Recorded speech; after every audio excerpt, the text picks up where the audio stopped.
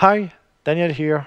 This is the project I'm working on currently. And before I go too far with this one, I'd like to share with you the main techniques that I used, why the graph is still readable and there's not too much to show. Just note that this project is not ideal for beginners. I wouldn't recommend trying to reproduce this project if you're just starting out with Substance Designer. The concrete tutorial is a good one to start with, or maybe the stylized dice. Other channels on YouTube also have good stuff to learn. And to finish with this short disclaimer, this video is not going to be a step-by-step -step tutorial. This specific exercise is actually a request from one of you, and here is my main reference.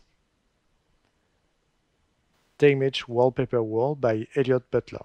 I like the result, very realistic, good execution.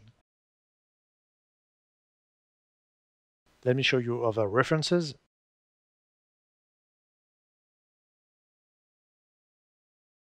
And here's my take on this subject.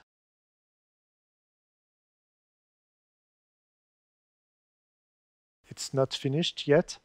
I need to texture the wood and finish working on the paper. I also have to texture what's beneath the paper. The most important piece of work in this project is the damage layering system. I tweak the settings for you now so that you can watch it in action.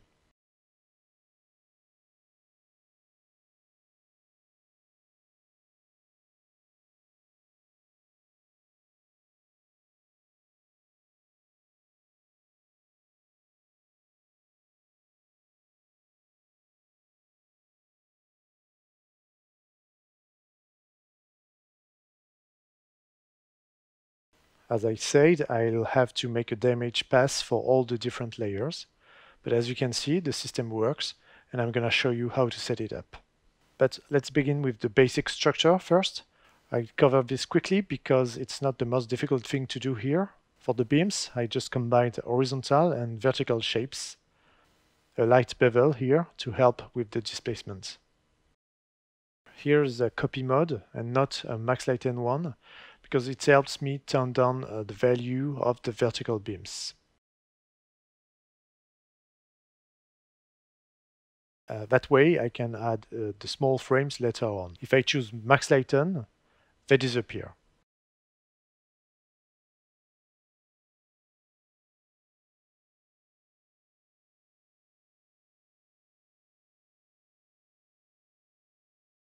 Here I just added a plinth and a horizontal molding. The moldings are done with a curve node.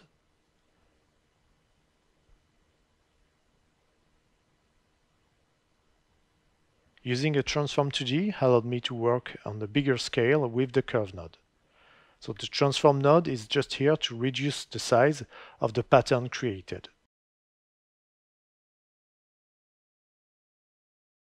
The thing is, you cannot zoom on what you're making with the curve node.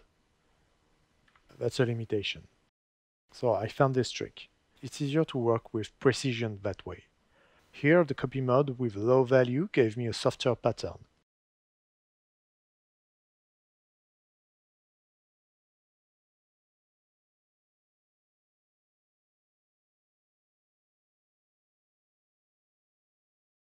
Then I made small wooden frames. The bevel gave me the gradients needed to work with the curve node. That's mandatory if you want to get a good result out of the curve node. You need a gradient.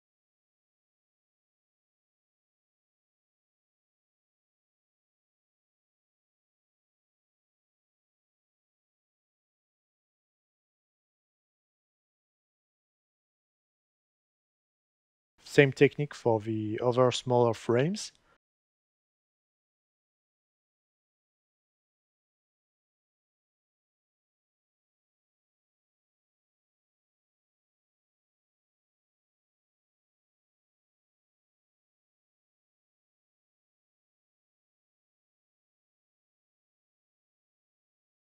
And then the blends.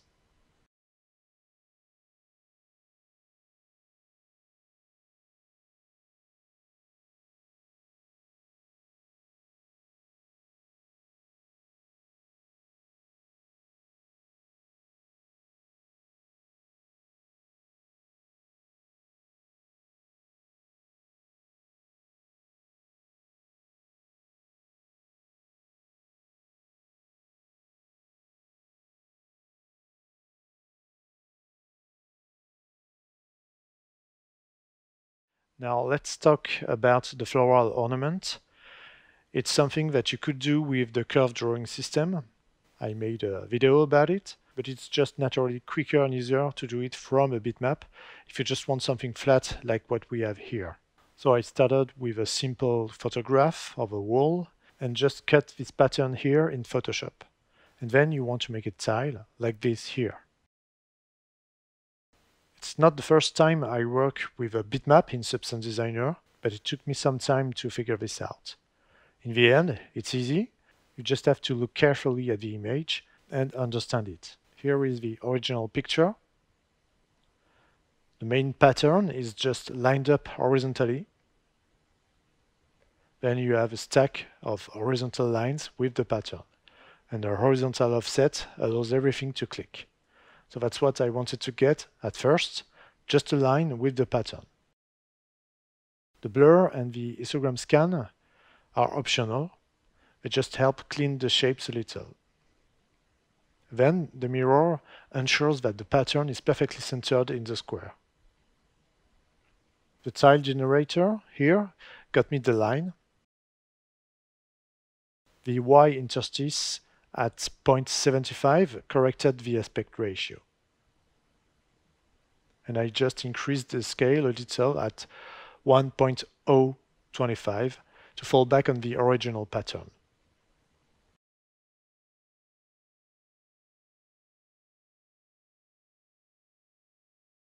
Then you just have to stack those lines vertically with an offset, and it's done.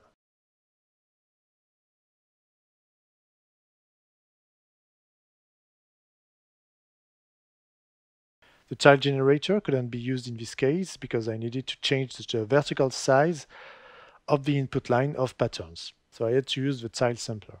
And here are the settings that got me the best aspect ratio in my opinion.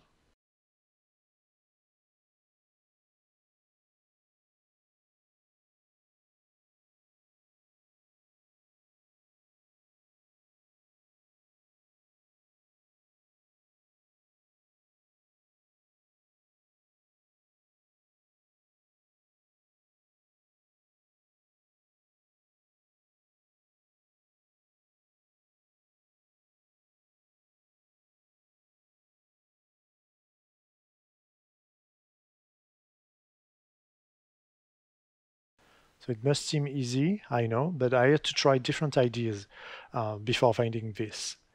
If you can get a result in a simple manner, it's always better. But simple sometimes is hard to find. Now it's time to talk about the layering system at last, but first a quick look at the mask used for the wallpaper. It's just the basic wooden structure sent through a histogram scan and an invert. And we have our mask. This one was easy.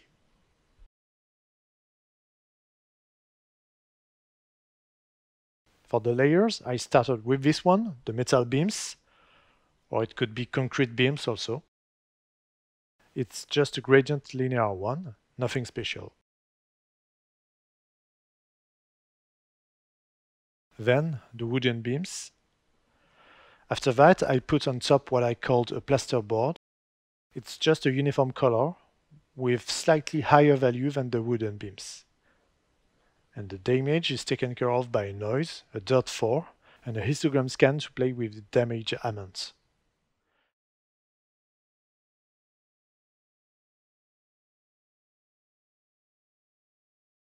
Then exactly the same thing for the coating, with a different noise, the black and white spot 1.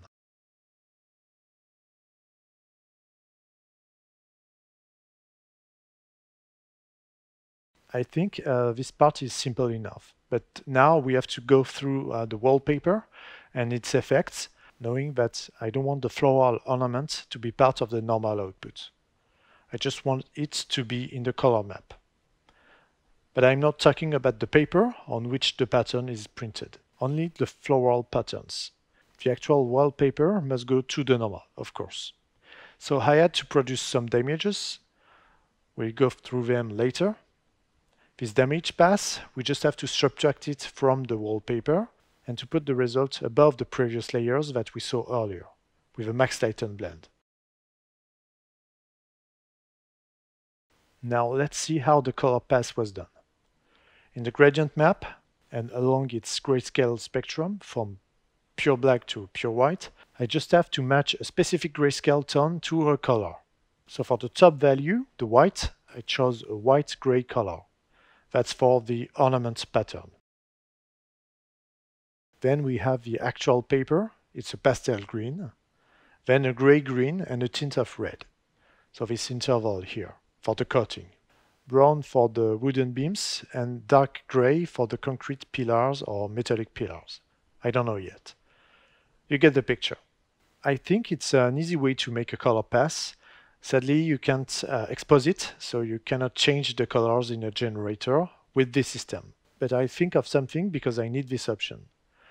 Maybe several gradient maps like this one and a multi-switch to choose the color scheme.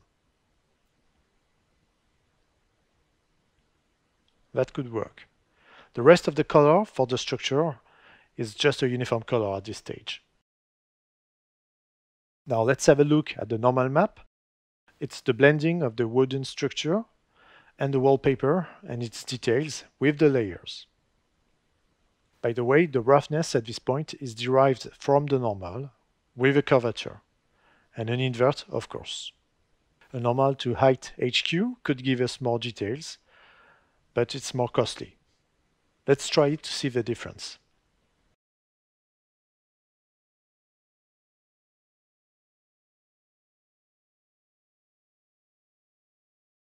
For the ambient occlusion, same process than the normal part, a blend between the main structure and the wallpaper with its layers underneath.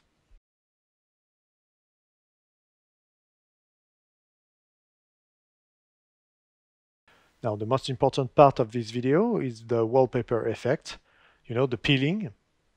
At its core, it's a simple subtraction. I made a damage pass and subtracted from the paper. The damage pass is simply a blend of grunge maps. We also have a slope blur based on the clouds too. A histogram scan to play with the effect, kill it or make it huge.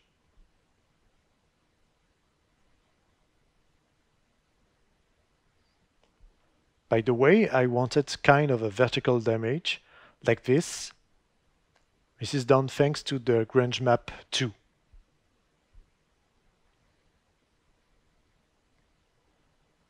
Here I have a wallpaper texture to feel like it's not a simple flat paper stuck to a wall, but rather a grainy, bubbly paper matter laid on an imperfect wall. This effect also depends on the normal intensity, of course.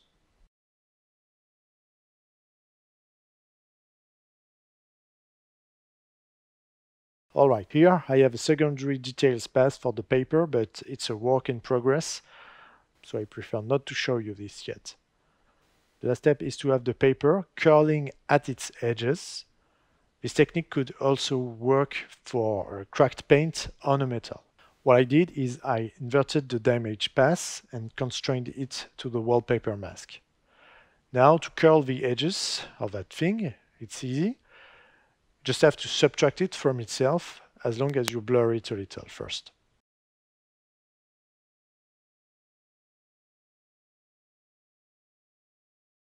As you can see, it works. I use the directional warp to vary the effect and not to make it too predictable. It also helps a good deal with the borders.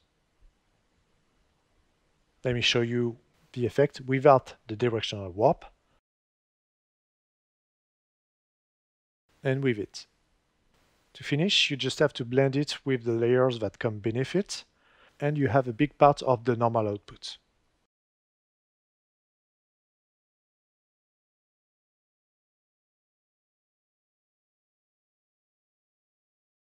You complete it with a normal combine. So we covered everything in the graph. I still have a good chunk of work on this project, but the system is in place.